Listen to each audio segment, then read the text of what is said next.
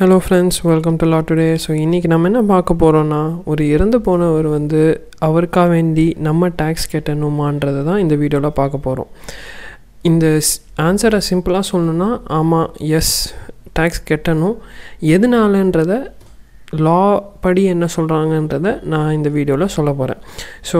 ஒருத்தர் last year இறந்துருந்தாங்கன்னா அவங்க என்ன இன்கம் ஏர்ன் பண்ணியிருந்தாங்களோ அந்த அளவுக்கு நம்ம கண்டிப்பாக டேக்ஸ் கட்டணும்.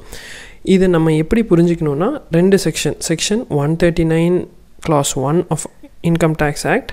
and section one fifty nine of income tax act இது ரெண்டு செக்ஷனையும் பார்த்தோன்னா நம்ம எதனால் கட்டணும் எப்படி கட்டணுன்றதை புரிஞ்சுக்கலாம். ஸோ மெயினாக பார்க்க வேண்டியது நம்ம சாப்டர் ஃபோர்டீனில் ப்ரொசீஜர் ஃபார் அசஸ்மெண்ட் ஸோ இதில் வந்து ரிட்டர்ன் ஆஃப் இன்கம் யார் யாரெல்லாம் ரிட்டர்ன் ஃபைல் பண்ணணும் இன்கம் டேக்ஸ் ரிட்டர்ன் ஃபைல் பண்ணணுன்றதை போட்டிருப்பாங்க. ஸோ இதில் போட்டிருப்பாங்க every person ஸோ முதல்ல எல்லாத்தையும் கவர் பண்ணியிருப்பாங்க every person has to file a income tax return and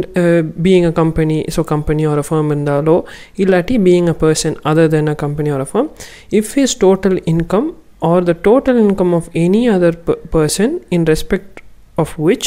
he is assessable under this act during the previous year exceeded the maximum amount which is not chargeable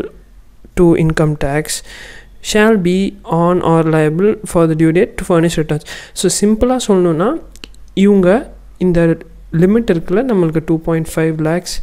limit இதை தாண்டினவங்க இதுக்கு உள்ளே இருக்கவங்க zero to two point five லேக்ஸ்க்குள்ளே இருக்கிறவங்க pay பண்ண தேவையில்லை. யாராக இருந்தாலும் நம்ம பே பண்ண போகிறதில்ல ஆனால் இதை தாண்டி மேலே வந்துச்சுன்னா இந்த அமௌண்ட்டை தாண்டி வந்துச்சுன்னா அவங்க யாராக இருந்தாலும் கண்டிப்பாக பே பண்ணணும். அடுத்த செக்ஷன் நம்ம பார்க்க வேண்டியது section one fifty nine chapter fifteen கீழே liability in special cases so legal ரெப்ரசன்டேட்டிவ்ஸ்க்கு தான் இந்த லயபிலிட்டி போயிடும் ஸோ இப்போ ஒருத்தர் இறந்து போகிறாருன்னா அவங்களோட லீகல் ரெப்ரசன்டேட்டிவ்ஸ் தான் இந்த டேக்ஸை கட்டணும். ஸோ அது வந்து செக்ஷன் ஒன் ஃபிஃப்டி நைன் என்ன சொல்லுதுன்னு பார்த்தீங்கன்னா where a person dies, his legal representative shall be liable to pay any sum which the deceased would have been liable to pay if he had not died in the manner like uh, in the like manner and to the same extent as the deceased so அவர் இறக்கலைனா அவர் இறந்து போகாமல் இருந்திருந்தார்னா எந்த அளவுக்கு அவர் லயபிளோ அந்த அளவுக்கு அவங்க legal representative லயபிளாக தான் இருப்பாங்கன்றது தான்